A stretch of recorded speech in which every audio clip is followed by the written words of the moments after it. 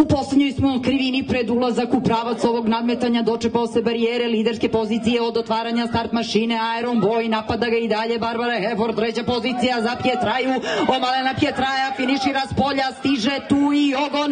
Iron Boy čuva čelo poslednji napad Barbare Heford ali ide i mala pietraja.